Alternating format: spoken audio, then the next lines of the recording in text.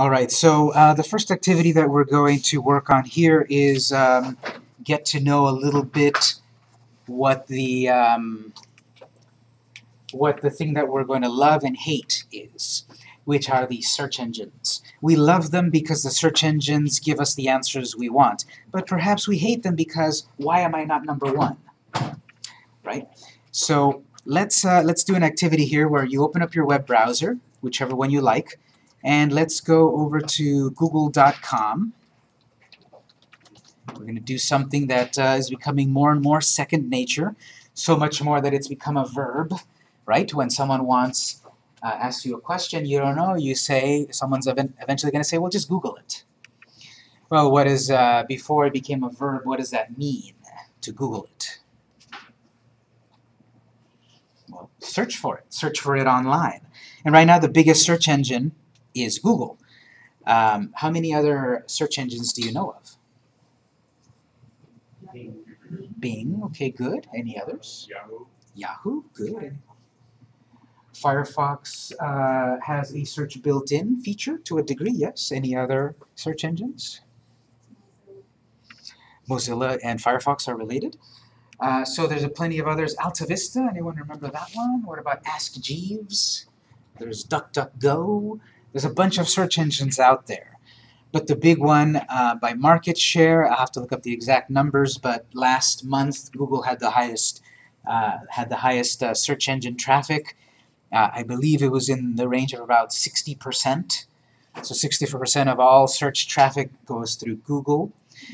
The uh, other um, the other big search engine by volume is Bing, Bing.com. Take a quick look at Bing. If you haven't been to it before, Bing.com, it's a search engine. You type there, you search. Obviously looks a little bit different than Google, not so Spartan. Um, so there's Google, there's Bing, and there's other ones. Yahoo, which actually has a close relationship with Bing. And as I said, this is an up-and-coming search engine here called DuckDuckGo.com. How many of you heard of DuckDuckGo.com before? So they're all search engines. They're all trying to uh, give you the best results from when you type your query, right? You search for a particular concept or keyword or company and such. Sorry, we are totally full.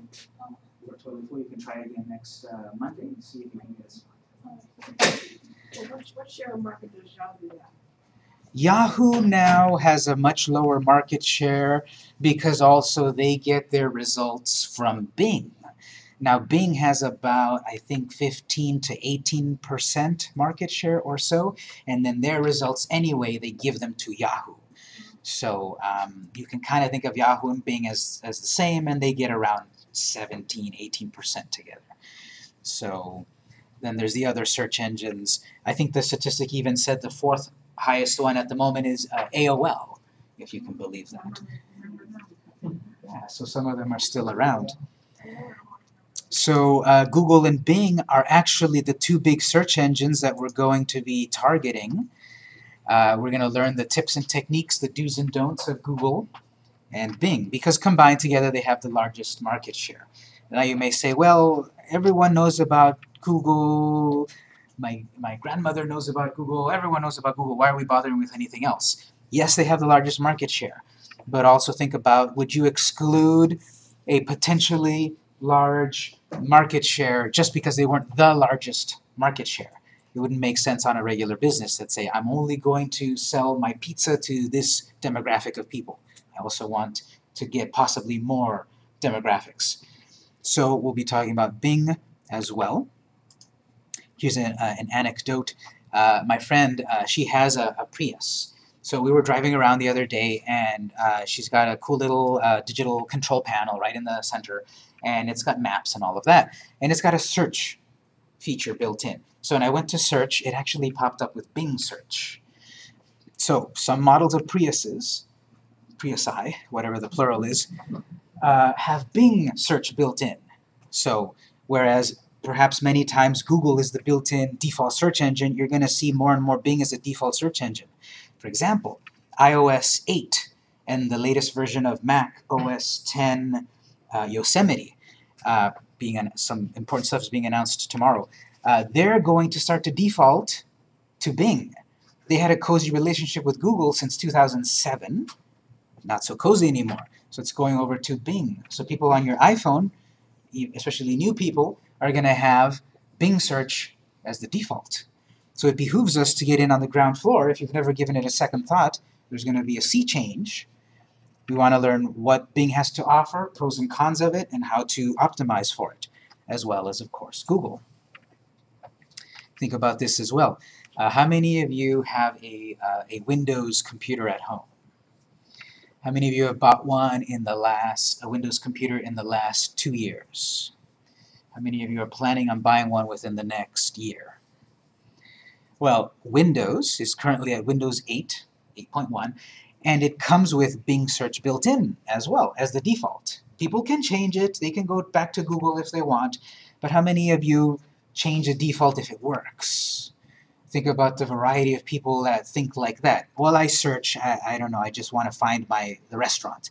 And they're searching on Bing by default because their Windows 8 computer came with Windows 8 with Bing. So that's another reason why we'll also be targeting Bing. And many of the things that we talk about in Bing and Google go back and forth, just maybe on a different screen, a different window. But it's not going to be really double the work. So let's go to, let's go back to Google, and let's try this. On this Google search, go ahead and search for your name.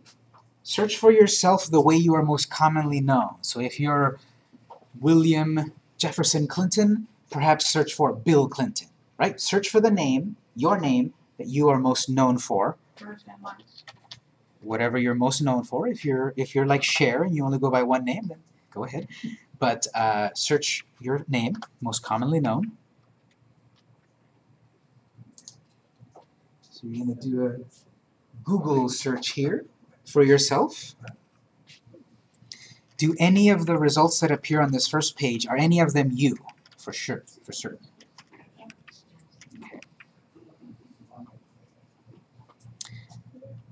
So as you look here on this, our, our screens may look a little different, but do any of you also see images of yourself, so to speak? All right, so if you look here, uh, I'm looking, what do I see? So I see the actor that was in Scarface, that's not me. I see my LinkedIn profile, that's me. I see my brand yourself profile, that's me. Uh, I see my uh, in my professor ratings for Southwestern College, that's me. And then other results that are not me, lawyers and actors and such. So out of the first top 10 results, I see myself actually in one, two, three, four. Four out of 10 results. All right, let's try the same thing, but now go to a different web browser. So right now I'm in Chrome, doesn't matter which one you are, but whatever web browser you open, now go to a different web browser. And this time let's go to bing.com and do the exact same search. So I'm going to open Internet Explorer. Let's go to bing.com. And the same way that you searched in Google, do that search as well.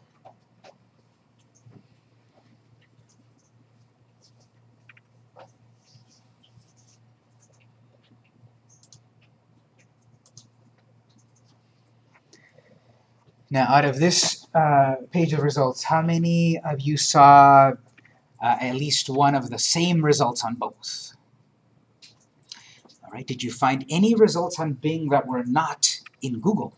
All right, so we're seeing both of them are search engines, both of them are browsing the same internet, the same World Wide Web, but they're both trying to give you what they believe is the best results. Um, the search engine, you can think about it, it gives you a, a product. It's in business for something, and it's going to give you a product. Uh, its product is is a page of search results. So each one feels it has the better formula for search results. Sort of like Coke and Pepsi. Each one is a type of a sweetened cola carbonated beverage, but each one thinks that its formula is better. The formula for the search engine is known as the algorithm. So while we will not be able to know exactly how the algorithm works for either search engine, we will be able to read documentation, uh, tips and tricks, uh, hands-on um, experience about how to successfully live with the algorithm. Because uh, basically the search engines, especially Google, since it's the largest one, we're playing in their playground, and they make the rules. And when they change the rules, when they change the algorithm, then the game changes, and either we give up and go home, or keep playing with the new rules.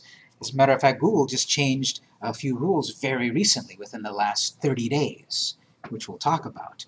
These things change on a somewhat regular basis, and then this class has to change also, because the techniques that I teach here try to be the most modern and current and relevant techniques than what I taught it a year ago, because things change. So on my Bing results here, some things that I see different, for example, are, hey, that's me right there. I see my picture right away from the other Victor Campuses, Campusi. Um, notice uh, perhaps looking at a headshot uh, gives someone a little bit more trust about clicking the link instead of another page of anonymous blue links. We'll talk about how do we how do we accomplish some of these tricks that or techniques that each search engine has uh, to stand out from the rest.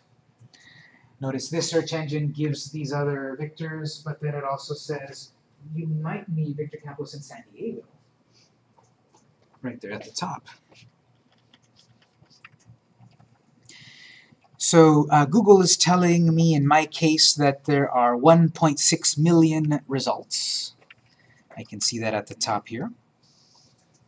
And Bing tells me there are 3.8 million results. And again, uh, how many of you are going to go that much deeper into the results unless you really are looking for something? Uh, that number, statistics show, is going lower. That is, uh, people that are going into later pages, uh, it's less people. They want the result right away because we're getting used to it. We're getting, we're getting used to that the first page of results is the best. Let's go back to uh, Google. Let's do another search here. If you have a company, let me back up a moment. Uh, so this class, I'm going to focus a lot on the terms, uh, mostly about talking about companies. But you can take this class if you don't have a company, if you have a nonprofit organization, if you have a youth group, if you have a band, if you are going to sell your paintings, whatever you are trying to get found on the search engine results, you can think about that as your company. So when I say, uh, let's do some research on your company, remember, I'm just talking about what is the thing that you want to get found via search. So here, we'll do another Google search for your company, search for your company name as it should be written. Uh, for, for example, my company, as I said, mine is PMD Interactive. That's how I'm going to search for it. I'm not going to search for pmdinteractive.com. I'm going to search for it as a normal word. You try that for your own company. If you don't have a company, um, try searching any other company, my company, whatever. But search for your company as a normal word.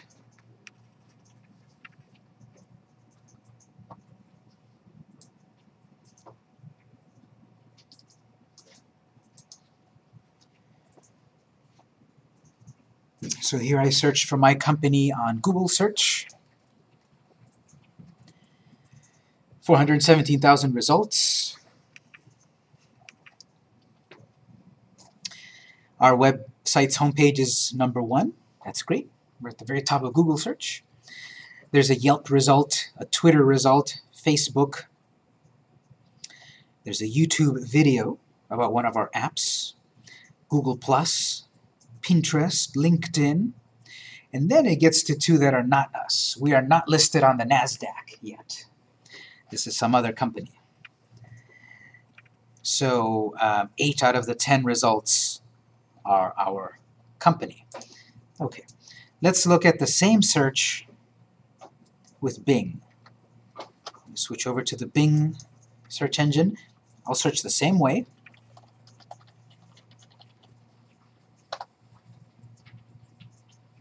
This Bing search says I have 173,000 results. Again, comparing that with 417,000 to Google. 173,000 results. There's our home page, number one. There's our Facebook, number two. There's our Twitter. Look at this. This is a deep link on our site. This is a link that is one level deeper into the site, whereas there is no result in my case like that on Google. It's just the top level, pmdinteractive.com.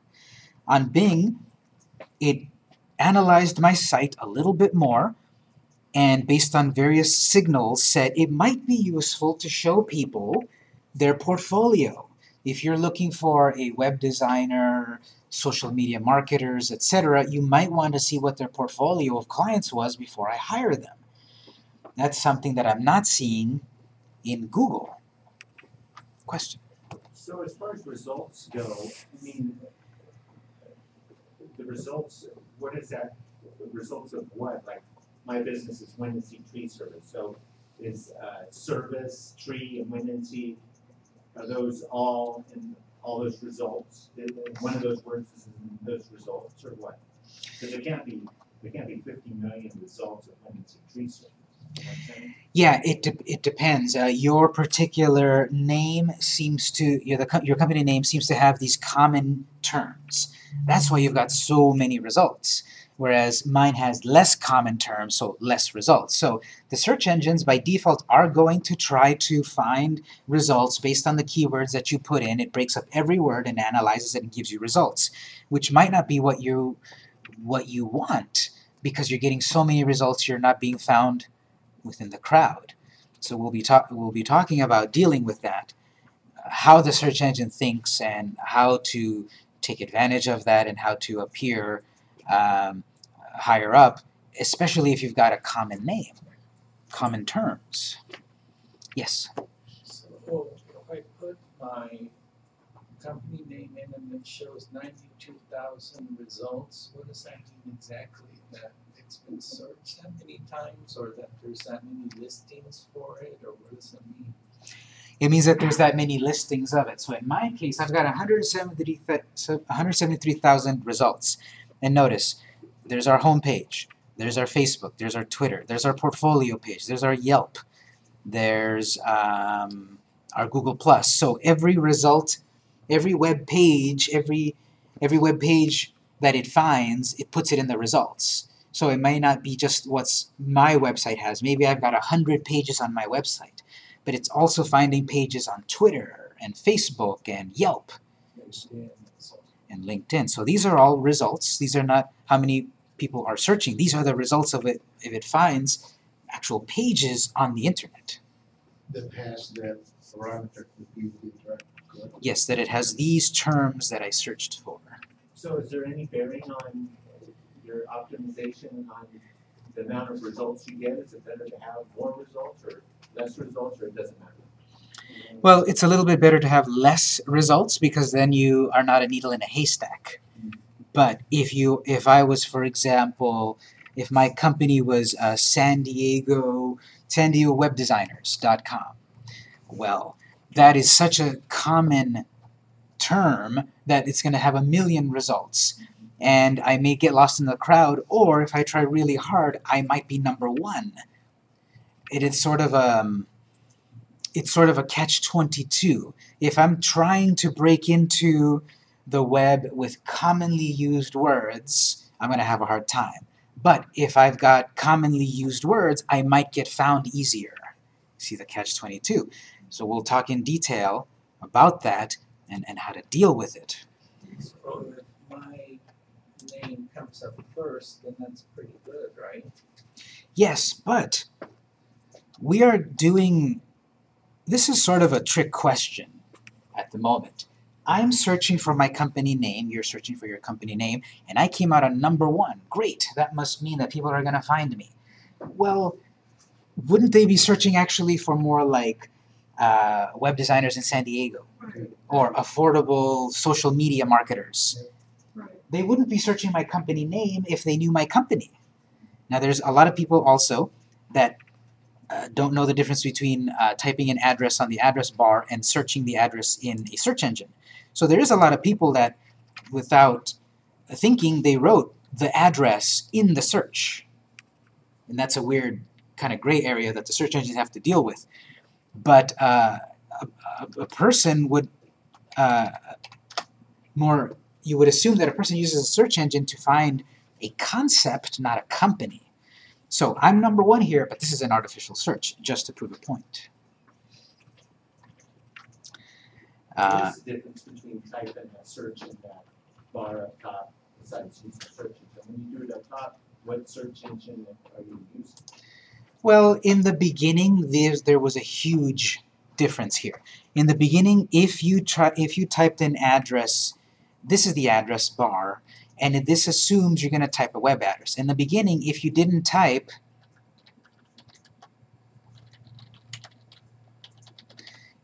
if you didn't type the web address exactly, you would get that 404 error page not found.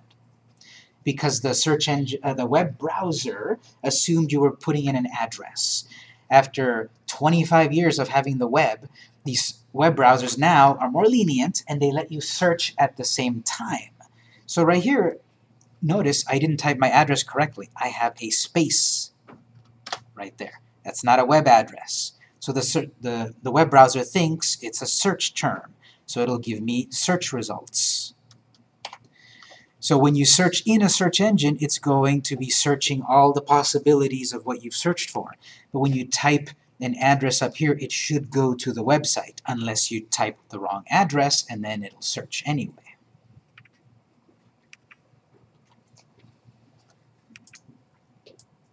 All right, so um, we'll do one more search. Uh, you, you search for your name, you search for your company.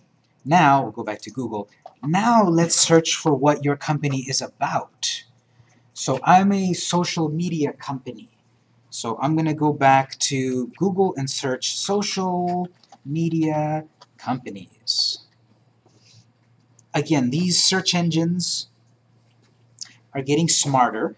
As you're typing, you might get predictions. Do you mean this? Ignore those for the moment. I'm typing social media companies and, it says, do you maybe mean San Diego, maybe list, maybe New York City? Ignore that for the moment. We'll be back to it. Just type the general name of what your company is about or it sells or what your nonprofit is about or your youth group, etc. Just general terms. Don't even be specific about the state or the city and such. Just a general search term. Social media companies in my case. So what I've got here, the number one result here, social media firm SD, top social media marketing SVCS, parallel6.com. Wow, I should click on them because they are the number one result. That means they're the best, right? That would make sense a few years ago, but actually that's an ad. That's an advertising, advertisement the company paid for that top result. So they're at the top. And now these are clearly delineated with ad. Just a few years ago they were not. They were kind of a little hard to tell what's an ad and what's a real result. Now they're clearly marked as ads. On the top here, on the right side here also, social media, spredfast.com. They're at the top here that doesn't necessarily mean they're the best result. They just paid for that placement. It's like buying an ad uh, on the Super Bowl. They might not be the best, whatever they sell, but they have the exposure. Okay, so everyone in this room wants to be found on the first page. Mhm. There's only so many companies that can be found on the first page. There's only, how many spots? Ten. Ten. That's what we're going to talk about. Those are the de- those are the nuances and the details about dealing with that because we are fighting for a finite amount of amount of space. And through the activities that we're going to do, we're going to talk about how we can get ourselves into those spaces. So these top results, in my case, are ads. Then, past the ads, the world's top 10 most innovative companies in social media. February 13th, 2014. Social media, what most companies don't know. From Harvard Business Review. Your social media company. Dot. Uh, mysmmn.com. So then I get to real results, non-paid results, organic results. There's paid results, and there's organic results. Organic means that it was not artificially paid for for placement. They didn't pay for it. But the top result is an article about innovative companies in social media, not an actual company. And this has been a trend that's been happening more with the search engines. Because, as I said a moment ago, the web, the World Wide Web, this year celebrates 25 years of existence. The internet is older though. It's from the 60s. This, the internet and the web are actually technically different things. But what we're looking at here is the web, websites, and they're 25 years old. And in those 25 years, things have evolved pretty rapidly. Search engines, for example, one of the earliest ones was Yahoo. Two college students started the search engine in their dorm to um, catalog all of these hundreds of websites that were out there. Now, um, years later, uh, Google, Bing, etc. are still doing it. But now there's billions of websites, probably, and um, much more of a challenge to organize them because when I searched for this very generic term, I've got 93.5 million results in 0.37 seconds. So techniques were developed. The search engines created algorithms to display the most relevant results. And those algorithms are basically trade secrets for each company, like the formula to Coca-Cola. Um, trade secrets that each company holds on to, but that applies to every website it finds and then serves up. So that algorithm, those techniques have to change every once in a while. One of the earliest techniques to rank well on search engine results was to use keywords. Uh, keywords in your meta tags. So uh, I would go into Dreamweaver, open a site, go to the meta tags and type in the, these keywords, what my site is about. Social media, comma, San Diego, comma, uh, affordable, comma. I would put in these keywords um, that would define what my site was about. And that worked for a while because not many people were doing it. The people that were doing it had the, the, the heads up. They were able to get ahead of everyone else. They got higher placement. Then people discovered, okay, uh, I'm going to put all of these keywords and 20 more that kind of relate. And then they would kind of be gaming the system. And then people find out, I'm going to put in the whole dictionary into my keywords. I've got to get hits that way. And it worked for a little while. Then the search engine said, keywords are no longer the best way to organize a site. We're not going to pay attention to keywords. Now we're going to pay attention to this. So suddenly the rules of the playground were changed. People got upset, especially those that were doing it legitimately. But the spammers were even more upset. Then other techniques came out. And then those techniques were abused and new techniques came out. So this is why SEO is a moving target. That's why what I teach you today will probably work for a while. I don't know how long, six months, 12 months, I don't know. And then the search engines change it, and you have to take the class again. Or learn it on your own. Question, back here. How do you recognize? Uh, there are many blogs out here that keep track of this stuff, and I'll be talking about them. These are, these are blogs that live and breathe SEO, and they can find out these answers by, for example, testing, like scientists, testing a hypothesis and reach conclusions. They would make a website, 10 websites, and do something on these five and do something else on those five. and they'll see how the results vary. So through testing, because again, proprietary information, trade secrets. Google doesn't want everyone to know how their algorithm changes because everyone will abuse it. Or Bing will see how they do it and borrow it and make it better, vice versa. So uh, we'll talk about blogs that, that you should follow about SEO, and uh, you don't know until someone kind of f- figures it out, or there's an announcement. The search engines them- themselves also tell you this is going to change, and we'll be looking at that as well. So it doesn't really. Just have uh, to do with what, what, what, what at a time? You had a question here? Um, I was just wondering, you mentioned the, the search engines look for the most relevant results. Mhm. And then that first one I was up there was an article, and so the first thing that comes to my mind is, so if you're out there writing articles, Mhm. is it pulling it by, like, most relevant, meaning most recent date, something was published around that topic, I mean, is that something that you see? That's a great question. This is going to see, we're going to see the difference then between SEO and SEM. This is a little bit more of SEM, search engine marketing, which is uh, what is the content that you're putting out to the web, to the world. And in this result, because it's such a generic term, social media companies, it gave me an article here to inform myself, to make a more informed uh, decision. So we'll look at um, what do we need to do on our site to follow the rules, SEO. What do we need to do on top of that outside of the site, SEM, to, uh, to have more possibility of ranking? Question. So the top ranked, they, they're not necessarily, uh, who has the most presence on the web or who the most popular are, that's not really the criteria? There's a big mix. Um, it's sort of yes and no. There's a we'll be talking about uh, various pillars that hold up our SEO ranking, and um, they uh, they include popularity and also content and other things that we'll get to in detail.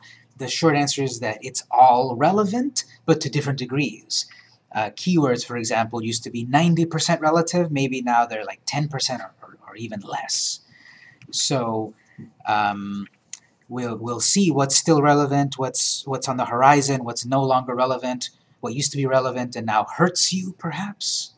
So just to kind of answer it here, um, Fast Company is one of these websites that I would recommend to, to read on a regular basis regarding companies, uh, entrepreneurship, social media, SEO, and such. So it stands to reason because they've got a large readership, they've got activity on social media, on their website.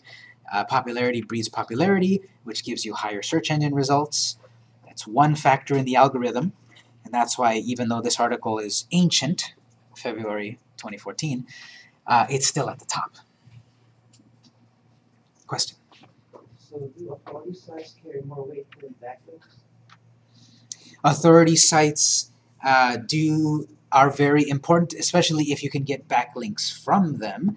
And part of the reason you become an authority site is because you have backlinks. So that's sort of again another catch 22. We want websites, and we'll see this in detail, we want websites to link to my website, and we'll talk about strategies. So I want XYZ website to, to link to my website, but I want quality XYZ company to link to my website.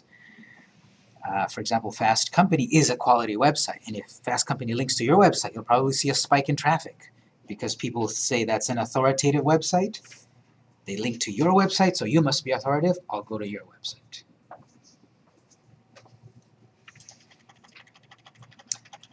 Um, let's see then also. Oh, this is new also. Uh, I'm I'm scrolling down again. These search engines are changing all the time. Uh, you may or may not see this, but I've scrolled down to the end of the results, and what happens is now I've got here in-depth articles from Forbes. How to use social media to promote your small business. Everyone probably has heard of Forbes. This article is from 2011. And then we've got 10 must-haves for your social media policy from 2009. Mashable, that's another big one. Make a note of mashable.com. You want to look at that website to keep track of what's happening in technology, social media, SEO. So this is new. They didn't have this a few months ago, maybe even a few weeks ago. They didn't have this in-depth article snippets thing. I want to get there. I want to be on the first page of results as an in-depth article. This sort of feels like Google is saying, this is one of the best results that we can give you. Check it out. I want to get there.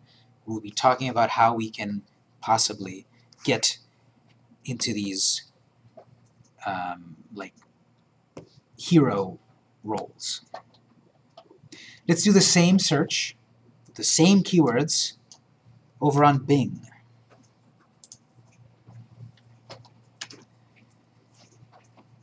So, same keywords, two different search engines.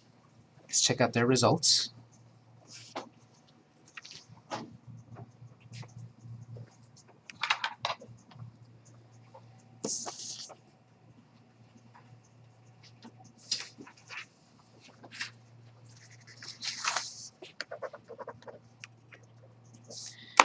All right, so on this result page, this SERP, search engine results page, I get very similar things. I get an area that's pretty clearly delineated that these are ads. The number one result here is social media marketing from 180fusion.com. Guaranteed results. Call today. Number one at the top. And notice they're different from right here, parallel6.com. So skip that. Keep going. My first organic result, Seven Social Media Companies That Kick Ass by Jason Keith. jasonkeith.com and then an article. And then a bunch of deep links. This website here has gotten its own like mini search engine result. It says here is um, the about page for Jason Keith. Uh, here is his speaking engagements, I guess. Next result, award-winning social media company in San Diego from uh, ignitevisibility.com. This one is more, appears to be more of a directory, where this is a list of award-winning social media companies. So not a website, but a link of a page of links to websites. Rankings and reviews of best social media marketing companies. So again, another sort of uh, listing website, a directory website. And then a real result, um, a real company, ignitevisibility.com itself. Here's another article, mogreenmedia.com, a, a real company on its own. So notice nowadays the search engine results are not really anymore just the actual home pages of these companies. In it, it's mixed in a lot of other content, such as articles, also known as blogs, blog posts. We'll be talking about the importance of blogging in SEO. We get, we might get, did any of you see examples, eh, results, for example, in Yelp? Yelp results, LinkedIn results, results on TripAdvisor, etc. You're seeing more results in these um, in these third-party sites that rank. For example, if I was look if I was looking for uh, Italian food, if I simply search Italian food, I'll probably get a bunch of Yelp results. And I go to that Yelp result, and that'll give me the top 10 Italian food restaurants based on star rankings in Hillcrest. So we're seeing more of that. I want to get to be the number one Italian food restaurant on Yelp in Hillcrest, so that I can then get the number one results on Bing search. So see, now it's it's more aspects, more facets, more effort, and that's why social media. It's not hard most of the time. There's a lot of detail. It's complicated. Um, it's a moving target. Question. Uh, whenever I type mine in, and it just says tree service, it came up with local results for tree service, and that has a little Map. map and stuff. How come, because it has service on the end, is that why it came up with the, um, why it went local results, we don't have local results On that, are you on uh, on Bing or Google? Bing.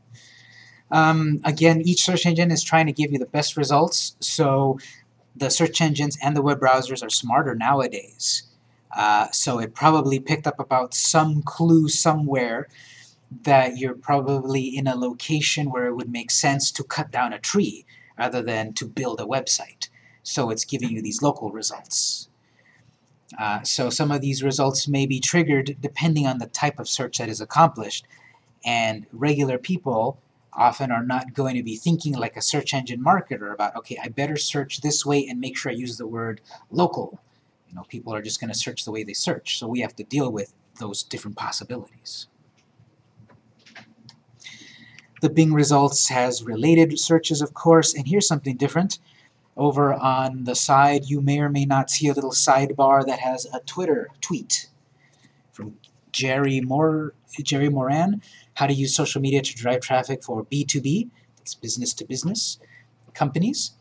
And that's over from kissmetrics.com. That's another good search engine uh, company blog to read, kissmetrics.com. So a, uh, a popular authoritative website has their tweet featured on the first page of results from a very generic search term, and it's a link to a blog post um, by a person on Twitter with 70,000 followers. So we're going to see the concept of authority over and over. It's in my notes here somewhere for you, but authority is one of the important things that we want to address when trying to optimize for search engines. Are you the best authority on something? Um, are you, if you're a painter, are you uh, authoritative in the sense that are you known, are you popular, are you referenced in other websites? Uh, if I'm a um, if I'm an actor and I'm trying to put my portfolio out there so that people can hire me for a job, well, what have I done? Uh, have I been on any TV shows? Is am I getting authority? Am I building authority? We'll talk about how we can do that. So there's authority, and then there's two other pillars that I'll talk about, but keep in mind authority for the moment. So I'll give you one more thought, then we'll take a break. Uh, search engine optimization can either be uh, done the easy way or the hard way. How many of you want to do it the easy way? Okay, take out your credit card, and what we'll do is we will pay for a first result. That's the easy way. You're going to pay for the first result, and then you uh, basically you the, uh, you you pull you put a pool of money, let's say twenty dollars, and then you set up a campaign where your result will appear at number one, and then every time someone clicks on that result, it takes a little bit of money away from that pool. How much? Depends on the search terms you used. Some search terms are worth five cents per click. Some are worth one dollar per click. The ones that are worth the most are the most common ones, the ones that everyone wants. So if I put $20, um, a $20 pool, and I choose a keyword that is $1 per click, I'm only going to get 20 clicks to my website. If I go for a search term that is 5 cents per click, let's see, five, uh, 20 nickels in a dollar, math, right? I'm not good at it, but you're going to get 100, 100 results, 100 possible clicks. So that's the easy way to get clicks to your website, to get found on the search engine results. You can pay for it. Question? Is there a way to find out how much money that is, like if you had a generic? phrase? Yeah, when we get into this, the webmaster tools, we can go into a screen that it'll tell us exactly how much each one is worth. The hard way is what I'm going to be teaching in this class. It's the way that will be free, uh, takes more effort, and is more long term. Because as soon as your $20 is up, you may or may not appear on the first result anymore until you pay $20 again and again and again and again. Then your competitor pays $21 and now you're number two. And then their competitor pays $30 and now you're number eight. So uh, if you are thinking of doing search engine optimization on your own, we're going to get a lot of hands-on experience, maybe more than you actually would think that you want to do. I'm running my business and I've got to do this too. Well, you can hire a company to do it. But hopefully, if you take this class, you will at least see when you hire a company, do they know what they're talking about? Are they using techniques that are three years old that don't help me anymore and might even hurt me? Question. If you're running a Google AdWords campaign and like your relevancy scores are high, and everything, does that affect yours uh, organic search as well? Um, yes, if you are, uh, it's it's the catch twenty two again. If the if the pay per click campaigns are giving you high results, but then you're also getting a residual snowball effect from not paying, that's going to affect your organic results as well. So like if if your rate is that rate your organic, It could. None of this is guaranteed, unfortunately, except the part about paying. Uh, because the search engines change this stuff, and I, and I have to be cynical that sometimes I feel, well, we're going to pay this amount of money, I'm going to get great results, but then as soon as I stop paying, the results might not be so great. And that's what people come when they take this class sometimes tell me. They tell me, I, I hired the, the social media, uh, this uh, SEO company, and I got great results for a few months, and then now I'm on page 12. What, what, what do I do? What they might have done is you paid them to do their magic, and what they did was create pay per click campaigns. And they got you on the top results, and then the money ran out, and so did your position. So we'll be talking about more long term strategies that should work uh, without paying, but they will they will take more effort. The hard way. It's not so hard like uh, like like a hard job like math and all of that, but it will be it will take time and effort. And if you're already running your business, then it might behoove you to research getting a, a company that does it. But at least you'll have the knowledge, the keywords, the, the, the jargon to know if they know what they're talking about. Any general questions so far? All right, let's take a let's take a 10 minute break. It's 1:45. We'll come back at 1:55. When we come back, we'll have do some more hands-on stuff. Make sure you uh, printed your name on the pink sheet that you were here on time, and that you used the add code. If you're not sure if you added the class, check with me because you need to be enrolled. Remember, I had to turn away like a dozen people. Make sure you're properly enrolled.